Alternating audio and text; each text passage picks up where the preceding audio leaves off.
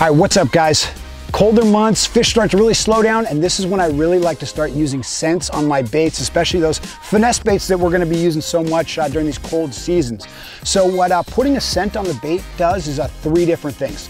First, it masks the scents that you uh, run into. Uh, you know, when you're filling up your boat and you spill gasoline all over yourself, uh, oil from the oil things, uh, just, uh, you know, little sunscreen. You know, who knows what you're scratching. I know you keep scratching your butt. you know who you are.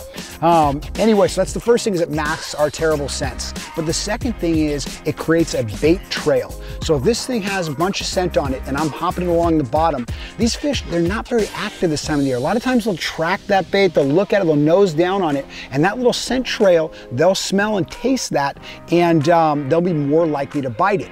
And then that brings us to our third advantage of using scents is when they do bite it, it is proven that they will hold on to something that is naturally scented longer than something that is not scented. So you have more time, you know, we're cold as well, and, and we take a little bit more time to actually react and set that hook, and you're gonna get a little bit more time when you actually have those scents.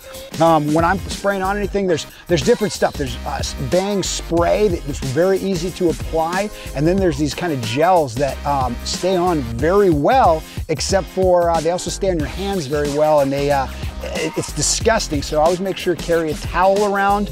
Um, one last thing is I always try to match my scent to what I'm trying to mimic. So for instance, this would be a crawdad I was trying to mimic. So I would use a crawdad scent. Um, likewise, when I'm trying to mimic those uh, dying little shad with those little drop shot baits and stuff, I'm gonna spray uh, some kind of shad bang on it. Anyway, guys, hopefully this helps. If you would like to see any tips, leave a comment in the comment section of what you would like to see me do it on.